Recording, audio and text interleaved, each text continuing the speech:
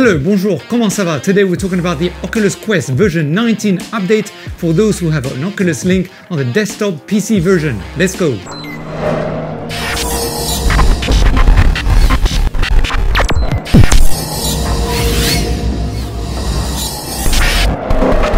If you're new to the channel, hello to you and welcome to VR Essentials. My name is Lazios K. Do consider subscribing as we talk about the practical uses of VR. Welcome back to our regular viewers. All right, let's dive straight in. So basically, Oculus have provided the ability for us to choose what kind of performance settings we want when we're using the Oculus Link. This is because apparently many of us have had some different issues, but that's because of course we use different computers as well with different motherboards and different graphic cards. There is also a way to change the graphic performance inside of the Quest via some code, but I never featured it on the channel because personally, I just never really recommend that kind of stuff as it could cause overheating in the headset. So to update your Oculus PC desktop software so that you can change the graphic settings, all you have to do is first of all launch your Oculus desktop software, then go into settings, then beta, and then enable public test channel.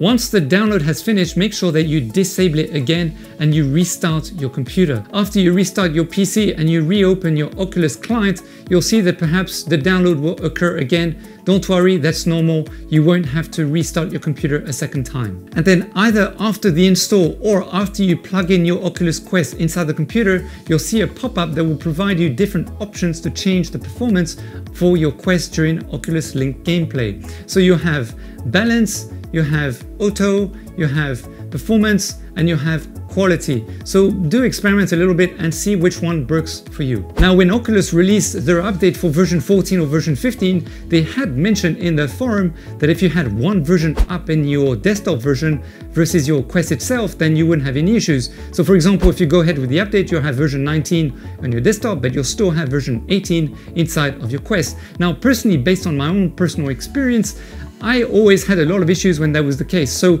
I'm not going to go ahead and do the update. So I just want to give a quick shout out to Eric for president as it seems that he did do the update. Go and check out his channel, it's really awesome and I also put a link below the like button in the description. Guys, if you do go ahead and do the update for version 19 on your desktop, Please let us know if you have any issues, write them in the comments below so that you know you can share that information with the others. And if you didn't have any issues, I'd love to know also, please put it in the comments below. I'd like to thank you for watching today's video. You are awesome and I do hope it was helpful. Do leave any comments or suggestions below in the comment box. Until next time, remember to hit the like and subscribe. Also, share some love so that as many of us as possible can grow the community and help as many people in virtual reality because at the end of the day, that's what it's all about.